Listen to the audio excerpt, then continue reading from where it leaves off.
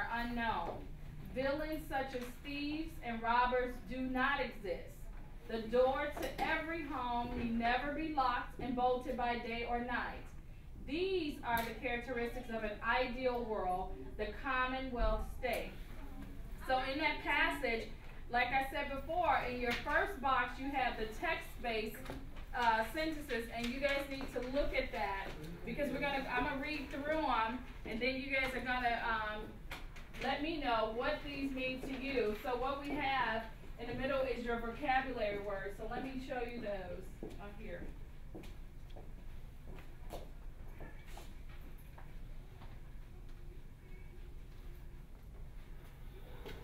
Okay, your vocabulary words, the first one is prevail, and that's to succeed. You want to write these down or? No, they're in the, on the second, in the second column. Look at your second column. The second one is maxims, a saying, or proverb. Do anybody know what a proverb is? Where do we see proverbs from? From the Bible, right, exactly.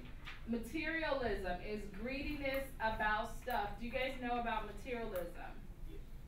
What is it? What do you know, Tahi? Like materialistic Uh, things. alright, alright, basically materialistic people, like they have like a couple of objects or an object or something of that matter that, Mhm. that they really want or that they really take care of or, or if there is a way they'll get, keep getting more of that kind of same object. Right. And then once somebody tries to take it away, then they pop up in a big fuss, then they try to find ways to get it back.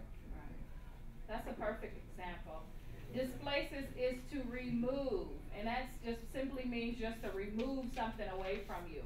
And then the third, the last one is one I like is idleness, not having anything to do. So we don't want to be idle at all, no time. We always want to have something to do. So I'm going to read through these, and we're going to move on to these questions. But what we're trying to do is to get you guys to understand is one second.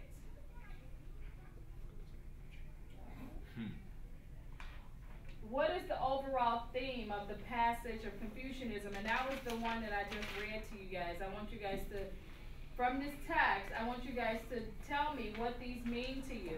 So the first one is when the perfect order prevails, the world is like a home shared by all. So your question is, what would the world be like if there was a perfect or if there was perfect order? So I need you guys, what does that mean to you in the text? Who can tell me? When the perfect order prevails, the world is like a home shared by all. What's a home shared by all? Everyone can visit their home. Okay. What what you say? There's peace, basically, there's peace. Okay, I want you guys to look at the dependent question because it says, "What would the world be like if there was perfect order?" Oh, so in know. this sentences, it says what? It, it, it's world peace. It'll be like the world shared by all. So what would it be like a world shared by all if we all shared Everybody everything? would be in every country. I mean, different types of ethnic groups would be in different countries. Okay. be more free to do religion in any country. All right, that's a good one. So we need you guys to put that on your paper. Whatever you guys need, whatever it means.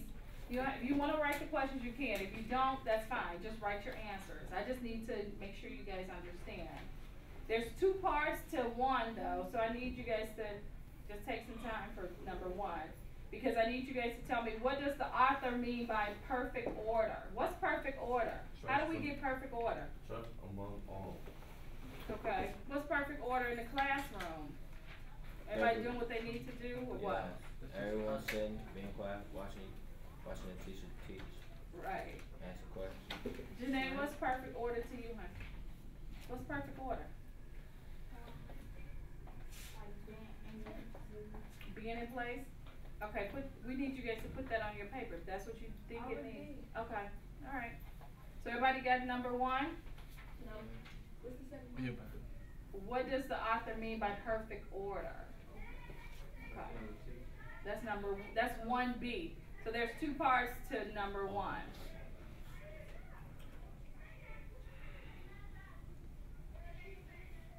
You guys ready for number two? Okay, the number two is virtuous and worthy men are elected to public office and capable posts of gainful employment in society. What's gainful employment? That's your question. What is gainful employment? What do you guys think gainful employment is? What about you, uh, Prince? What do you think gainful employment is?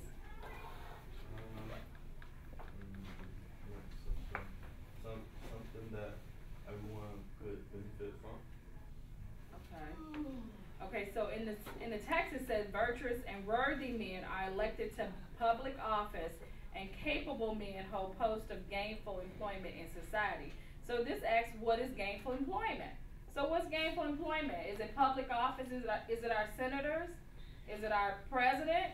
Our Congress? What's gainful employment? What do you guys think?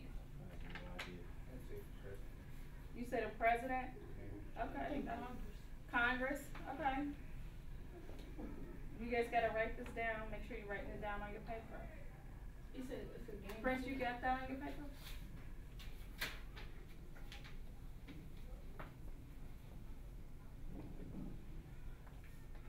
Now, the second part was what kind of men are elected to public office? People over thirty-five. People over thirty-five. And what, what are those people, what public office is that for? The senators, okay? Okay, what do you think, Maya? Are you still on number one? Okay, we gotta get Maya caught up with us. What about you? What do, what do you think, Tanisha? What kind of men are elected to public office? American citizens. That's what I'm about to say. Okay, anybody else? Curtis, what about you? Somebody with education. Somebody with education. Okay, we are on number two, but we on the second part of number two. So which part do you need? You need to go back? The first number two, what is gainful Kind of, employment? Oh, what kind of men are I guess trustworthy men. I say trustworthy. Okay, if you can't trust nobody that's in the office. Right. okay, can the people in our public office be trusted? Do we trust them with our money? No, no, because they might pull a George Bush. A George Bush, what you mean by a George Bush? A George Bush spent up all our money on something that does not need to be spent on. Okay, now Ms. Walker brought up a good point. In Chicago, Jesse Jackson Jr. was in public office and him and his wife spent the taxpayers' money on the things that they, the, well, it was the taxpayers, cause we still pay into that. So the taxpayers' money went to furs and cars and decorating their homes and stuff like that. And do we trust those type of people? No. Okay, so we need trustworthy people in public office, right? Responsible and trustworthy people. Okay, but how does these things create an ideal world? That's the next question. How does these things create ideal worlds for us? If we have trustworthy men in public office or in- women? We wouldn't be in debt to China fourteen trillion dollars. Okay, we'll put that on your paper. That's a good ideal world. Oh, already that. You did? Okay. Oh, we on number two? We still on number two. There's three parts to it, so I want you guys to Oh, take. that's, that's the third part you just said? Yeah. The third part is how would these things begin to create an ideal world?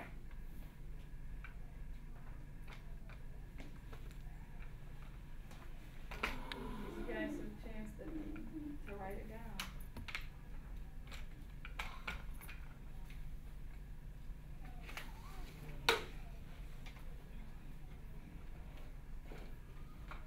Okay, number three. Peace and trust among all men are the maximums of living. Now, maximums is a proverb. So, what characteristics or qualities are required for living? What are they saying is the characteristics and qualities are required for living in this sentence? Peace and trust? Peace and trust, is that what you mm-hmm. said? Yep. So, we need trust in order to have a quality life? Okay, and what else? And what else? Good living? Okay, what else? What about you, Prince? What do you think? Mostly trust among all, all men. I never heard that New World Order. What that mean? Like taking care of the street. Okay. What's the question? It says what characteristics or qualities are required for living? We Uh, need peace and trust. That's what it says in the sentence. Take the man. The Ten Commandments. Okay, Ten Commandments is good. Fact. Cause calculus, okay? So you guys need to write that down. It's two parts of number three. No, it's just No, it's just one part to number three.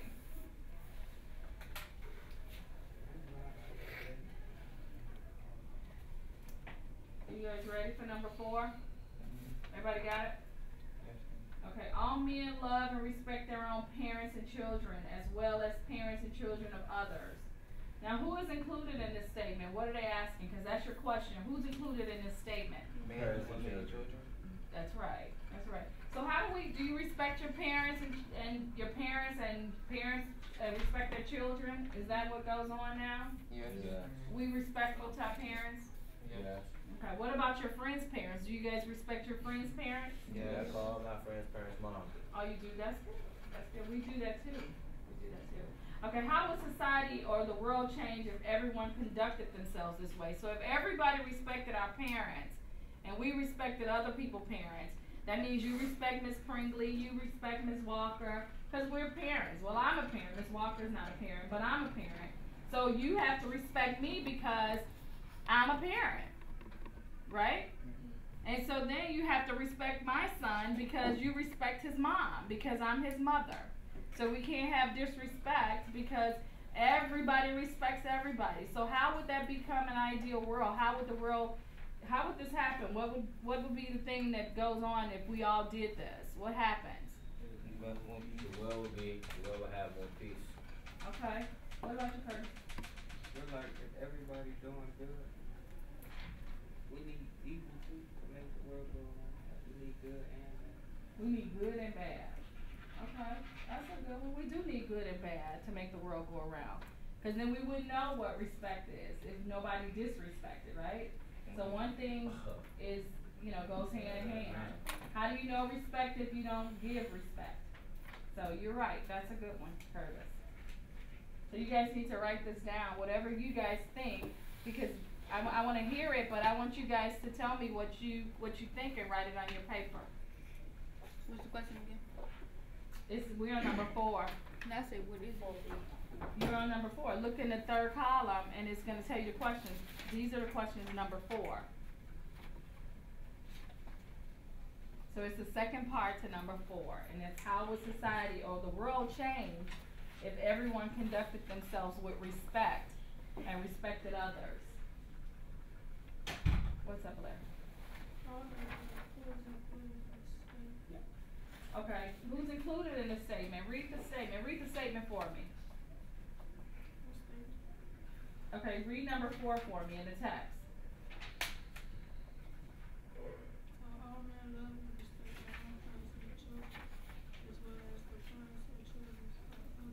Okay, so who's included in that statement you just read?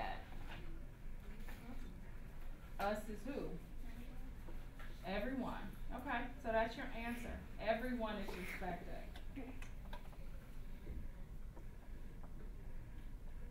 So you guys got number four?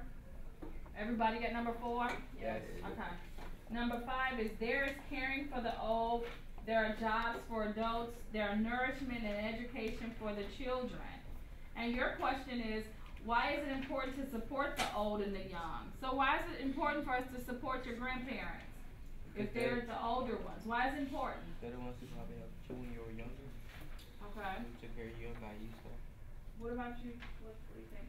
I think you should, uh, respect your par- your parents and your grandparents, cause your grandparents had your parents, and your parents had you.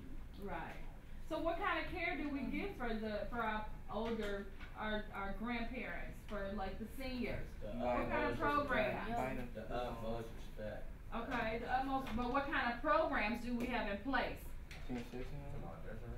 Nursing homes was one of them, what, Kurtz, what do you think?